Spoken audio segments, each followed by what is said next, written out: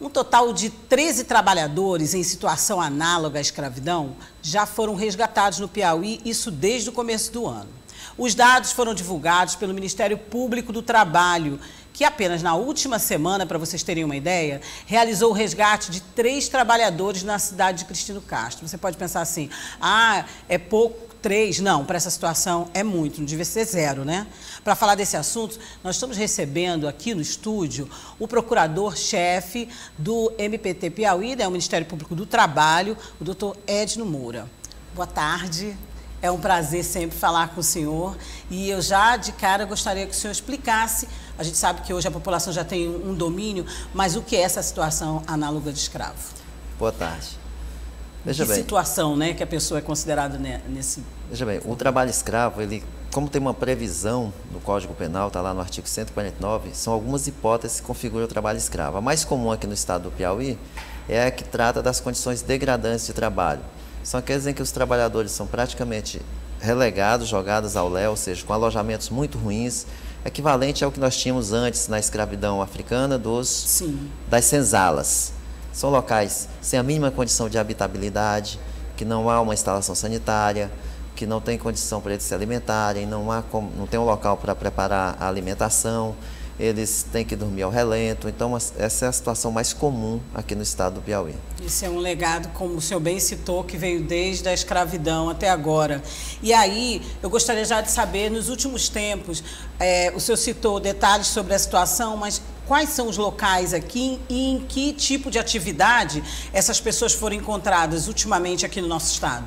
Veja bem, nesse ano de 2022 foram resgatados 13 trabalhadores, todos no, no, no, nos municípios do extremo sul do estado do Piauí, é, na Serra do Quilombo, né, ali no município de Currais, município de Palmeira do Piauí e agora, mais recentemente, no município de Cristino Castro. Sim. Nas atividades de agricultura, nós tivemos dos 10 primeiros trabalhadores resgatados nas fazendas de produção de grãos, numa atividade sazonal, uma atividade temporária de é, limpando a área, ou seja, recolhendo as raízes que ficam depois do desmatamento, e essa mais recentemente numa abertura de área para pasto. Certo. E quando vocês é, detectam essa, recebem a denúncia, vão até a área e conseguem confirmar quais são os procedimentos naquele momento e quais as sanções para quem pratica esse tipo de crime? Pois bem, quando o Ministério Público do Trabalho se encontra, encontra uma situação que configura né, a redução análoga à condição de escravo, o Ministério Público retira, resgata aqueles trabalhadores, ou seja, suspende aquele tipo de atividade, resgata os trabalhadores e exige que o empregador efetue o pagamento das verbas trabalhistas.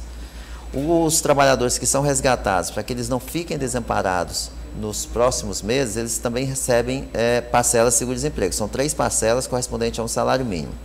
Além do mais, esse empregador também é obrigado a pagar uma indenização por dano moral individual a cada um desses trabalhadores, dano moral coletivo e está sujeito à responsabilidade criminal. Porque, como eu mencionei, o artigo, o, o, o redução a condicionado escravo está previsto no Código Penal. Sim. Então é possível que a pessoa, inclusive, cumpre uma pena de privação de liberdade que varia de 2 a 8 anos.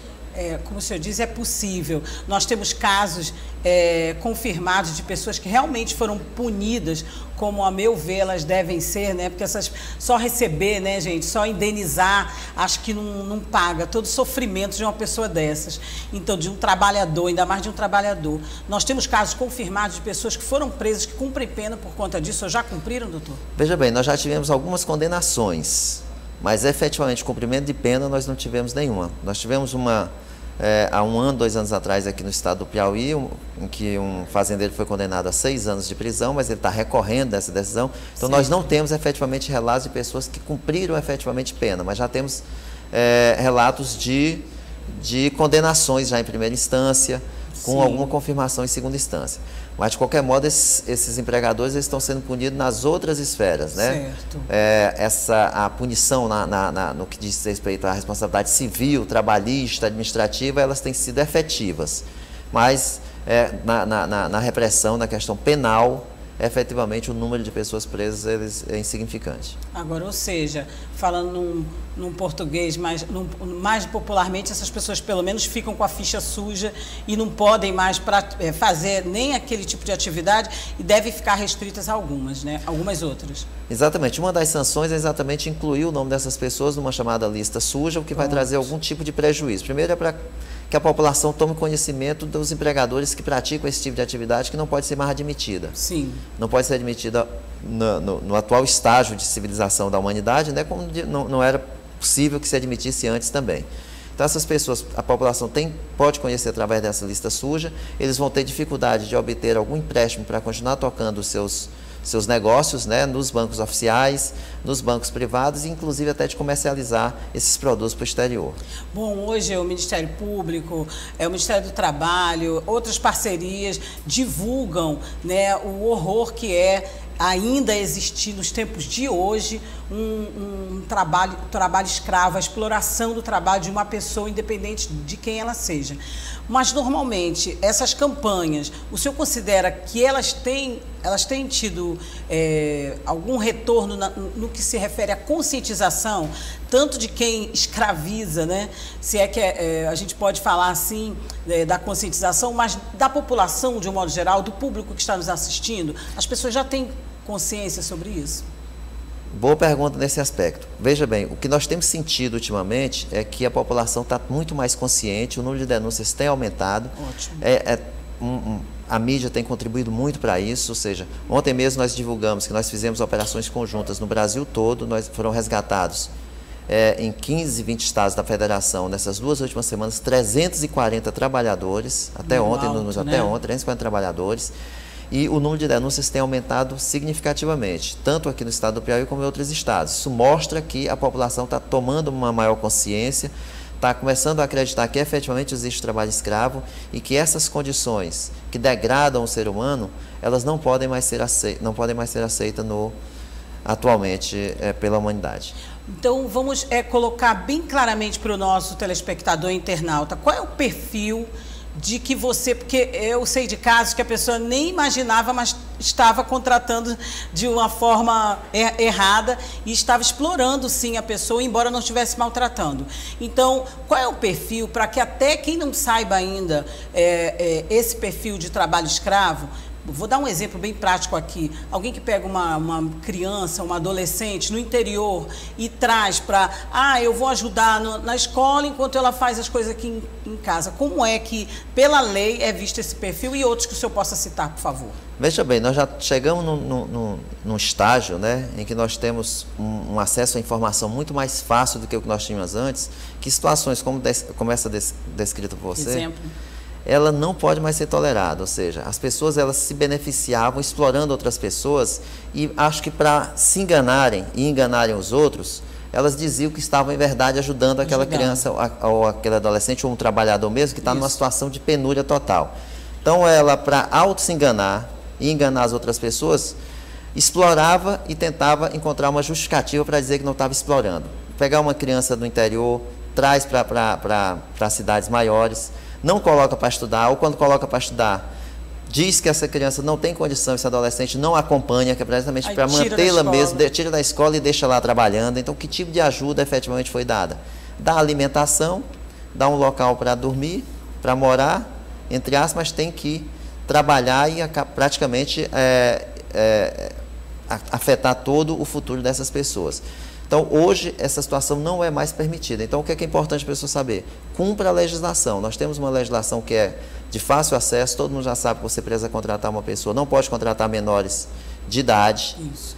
Você não pode contratar sem anotar uma carteira de trabalho, sem cumprir as, as, as demais né? obrigações trabalhistas, como concessão de férias, décimo terceiro. Então, é muito fácil você cumprir a legislação se você, de repente, quiser se portar dentro do, da, da, legalidade e não cometer ilicitudes. No relação ao trabalho escravo, a situação é muito pior, porque você acaba reduzindo aquela pessoa à condição de coisa, objetivando uma pessoa, quando na verdade você deixa de tratá-la como ser humano, como um, um ser que possui direitos, para tratar como objeto de direitos. Então, é, não é mais admissível, no estágio que nós estamos hoje, um fácil acesso à, à, informação, você dizer que você ignorava que aquela situação era ilícita, era irregular. Por fim, doutora Edno, vimos é, casos em nível internacional, em nível nacional, de pessoas, de brasileiros que foram para o exterior, né, foram pensando que iam ser contratados como empregado doméstico ou numa outra função, um cabeleireiro. Vimos aí, passou em rede nacional e, graças a Deus, alguém denunciou tinha alguém para denunciar e essa pessoa foi trazida de volta para o país e a, as leis estão sendo cumpridas. Num caso desse, por exemplo, é, da pessoa estar fora do país, mas que ela mesma às vezes não tem consciência, né? A gente vê que vimos o caso de uma senhora também bem idosa que ela, ela dizia que, que não, que as pessoas estavam ajudando ela, que ela não tinha consciência da situação. Nesse caso, é, da pessoa estar tá fora do país ou aproveitando, em qualquer caso, como é que tem, quem está nos assistindo aqui deve fazer para denunciar e, e, ter também, eu vi o casal que denunciou botar a cara, como a gente diz, a tapa, mostrou seu rosto na televisão, mas é, também é preservada a, a identidade da pessoa que denunciar, porque muita gente tem medo, né? Às vezes sabe que a vizinha está fazendo isso ou o vizinho que está explorando alguém, mas tem medo. Pois é, para denunciar hoje, é, nós temos inúmeros canais de denúncia, né? É, nós, no próprio Ministério Público do Trabalho, nós temos telefones que estão à disposição. É, nós, eu posso citar aqui, por exemplo, no, no, WhatsApp, pode ser feito por WhatsApp, no telefone 99544 é, 7488. É, você tem o nosso e-mail à disposição também, é prt22.dap.mpt.mp.br. Nós temos o nosso site, que também tem um link fácil de denúncias. Nós temos o Disque 100, é só ligar para o Disque 100. Que Isso é mais prático ainda, né? O exatamente. povo parece que já pegou e também. em todos eles está tá garantido o, o, sigilo do seu nome. E se a pessoa quiser, não, não quiser nem dar o seu nome, não precisa, pode fazer a denúncia anônima que vai ser investigada aquela situação. Quanto à questão do tráfico de pessoas foi mencionada, é importante porque amanhã nós vamos nós Isso, vamos 12, né? nós vamos comemorar, né, na verdade é um dia de luta, de reflexão, de combate ao tráfico de pessoas, né? E você mencionou algumas situações de tráfico de pessoas Isso. que ocorre aí. É, obviamente que também pode fazer a denúncia, se você estiver no exterior, você vai ter que procurar os canais, né, que na verdade é o Itamaraty, para que possa ser feito alguma coisa para tentar resgatar essas pessoas que foram vítimas do tráfico de pessoas. Mas o Ministério Público do Trabalho tem uma campanha que nós estamos colocando vídeos em todos os terminais de saída, ou seja, aeroportos, alertando as pessoas sobre o tráfico de pessoas. Nós estamos colocando nos terminais rodoviários vários vídeos informativos sobre o tráfico de pessoas para tentar evitar que essa situação que essa situação ocorra, né? Inclusive treinando funcionários para que eles percebam se aquela situação configura ou não o tráfico de pessoas e acione as autoridades. Certo. E, por favor, eu gostaria que o senhor só é, reforçasse para o público é, esses, os primeiros canais que o senhor falou para a gente, se a gente não puder botar na tela agora, mas depois a gente vai divulgar, principalmente é, os, os números e as redes sociais. Pois é, então, para fazer a denúncia, que vai ficar garantido o sigilo, e se a pessoa também não quiser dar o nome, pode fazer anonimamente, você pode ligar para o nosso telefone WhatsApp, que é 9, 9, é 86, né? E 99544 7488. Sim. Pode ligar para o nosso telefone fixo também, 86 4009 6400. Pode encaminhar para o nosso e-mail de denúncias, prt22.dapi, arroba mpt.mp.br e ainda pode, fazer, pode ligar para o Disque 100, né?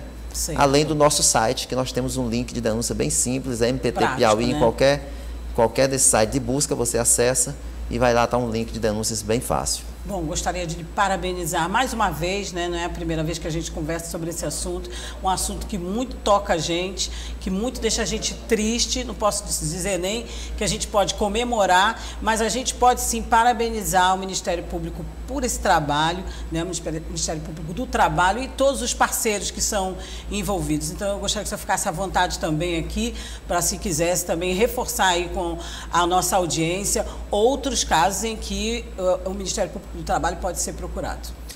Pois é, o, é muito importante que a população tenha consciência sobre essa questão do trabalho escravo. Graças a Deus, realmente estão tendo, o número de denúncias aumentou, isso facilita muito o trabalho. Só para nós termos uma ideia, chegando uma denúncia de trabalho escravo, ela é nossa prioridade máxima aqui no Ministério Público do Trabalho. Se a gente receber uma denúncia de, de, de trabalho escravo, a gente já desloca uma equipe, no máximo na semana seguinte, para o local da denúncia para averiguar se efetivamente está ocorrendo ou não o trabalho escravo, se é o caso de resgate ou não. Então, as denúncias vão ajudar muito nesse sentido para que nós possamos combater. A denúncia sobre outras mazelas envolvendo as questões trabalhistas podem ser feitas, inclusive, com a questão do trabalho infantil, é, assédio moral, que ficou divulgado muito Sim, ah, recentemente por conta de assédio sexual no ambiente de trabalho. Então, são ações que o Ministério são denúncias que podem ser feitas no Ministério Público do Trabalho, que prontamente vão ser investigadas, averiguadas e, se for o caso, aplicadas sanções cabíveis. Certo. Bom, mais uma vez, muito obrigada aqui pelas informações, pela sua disponibilidade de tempo, de estar aqui com a gente no Dia News. Certamente o Douglas, a produção, vai lhe chamar aqui em outras ocasiões para dar esses desdobramentos desse caso dos 12 trabalhadores que foram é, encontrados nessa situação e também outros casos, porque, como o senhor disse, né, a comunicação tem um papel fundamental também é, na divulgação, não só por divulgar e por informar, mas para conscientizar também. Muito obrigado, procurador chefe Edno Moura, pelas informações e uma boa tarde, um bom fim de semana. Ok, eu que agradeço.